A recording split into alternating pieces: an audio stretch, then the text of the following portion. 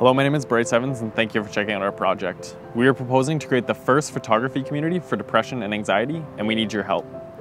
I've always been fascinated by photography, how it can both reflect who we are and how we see the world.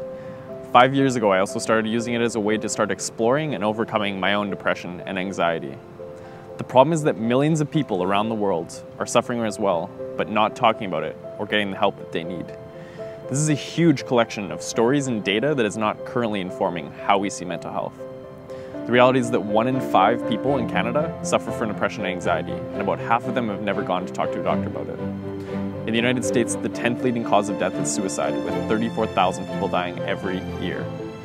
We all know how to take photos. It's as simple as the click of a shutter or the tap of a screen. And I believe that we are seriously overlooking how we communicate today.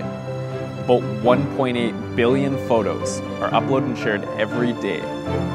Imagine a space where we can tap into that and gain insights from these photos by giving you access to the tools that you need to share your story in a safe and gradual process while also connecting you with people who are going through the same thing.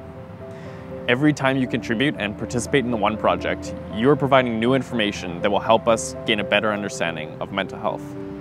We are partnering with leading therapists, mental health researchers, and organizations to best use this data. Over the last five years, I've been working to optimize the techniques that I've used for myself and learn how similar techniques are being used around the world. And what I've discovered, there's nothing like this, and there's a huge need that we are looking to fill. This is where you come in. This project is bigger than myself and any one of us. And it's time that we come together as a community and change how we see mental health. And I'll leave you with one final thought a quote by Edward Everett Hale I am only one, but I am one. I cannot do everything, but I can do something. And I will not let what I can't do interfere with what I can do. Thank you.